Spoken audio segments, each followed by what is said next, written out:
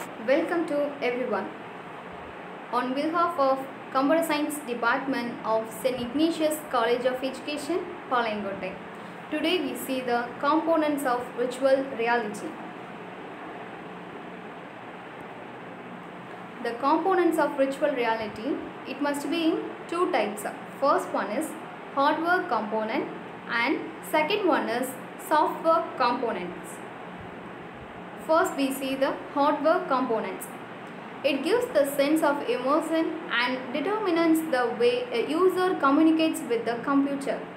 It helps user to navigate and interact with the virtual reality environment to make it intuitive and natural as possible. It must be on four types.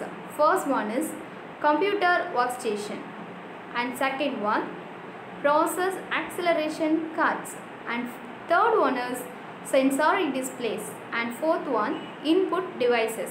First computer workstation. Uh, it must be mainframe or personal computer. And the second one process acceleration cards. Uh, for example 3D graphics or sound cards. And the third one sensory display.